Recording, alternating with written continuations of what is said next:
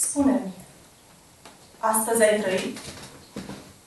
Te-ai dezmorțit dintre cărămizi, precum Ana în poveștile nerostite, de teamă să nu-și piardă copiii morala. Copiii albaștri, pe care îi vezi ținându-se de mână fiecare zi, urmărind cum te pierzi prin fața lor. Spune-mi, îți mai amintești cine ești în partea mea de vină și partea ta de timp?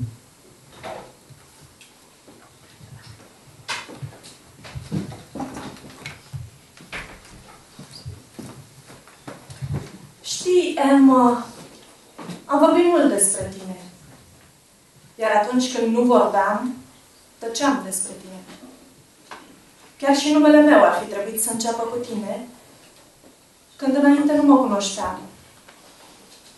Știi, înainte să adorm, aud sunetul tocurilor dezmorțind scările, ca ticăitul unui ceas uriaș, menit să mă trezească din oră în oră.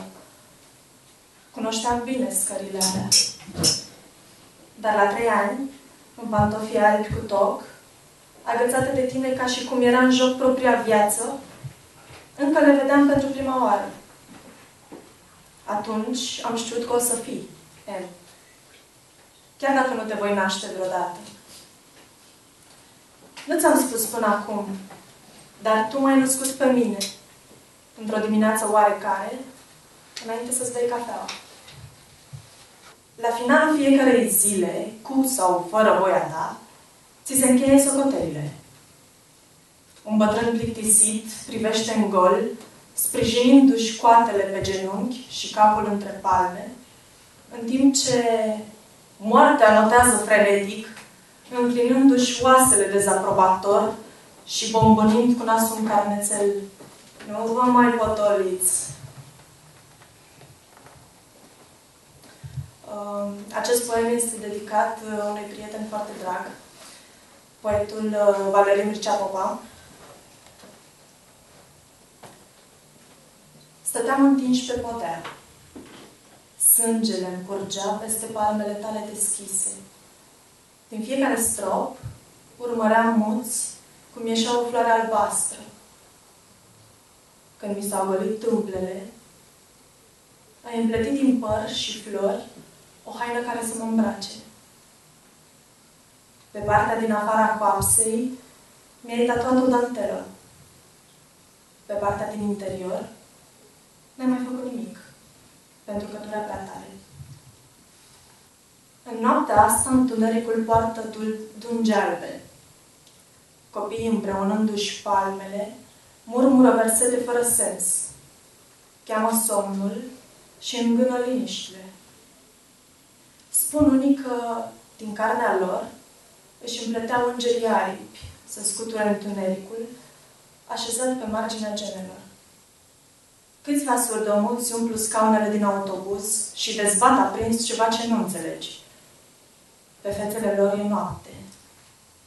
O bătrână în doliu îi urmărește amândoi vă umpleți plămâni cu noaptea lor. Ți-a venit rândul aceeași stație nu e la fel pentru toți. Pe sticlă e un afiș cu ușă defectă. Dintre buze îmi curge un râu de apă dulce.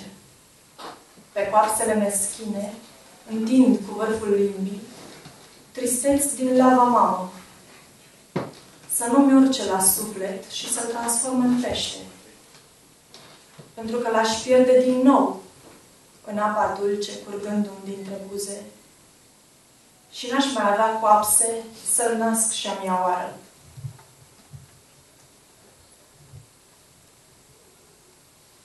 Noaptea, drumul spre casă pare întotdeauna altfel.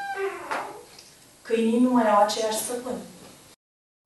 Azi am 10 pași în minus. Becurile luminează mai slab partea mea dreaptă. Unii își țin umbrele pe trotuar, un coș de semințe, să se agațe de tine când treci. Trei scări de bloc în plus. La nouă se luminează biserica. Bule colorate se înfășoară printre picioare. Închid ochii. Număr până la trei. În fața mea, Un copil își suflă inocența în balone de săpun.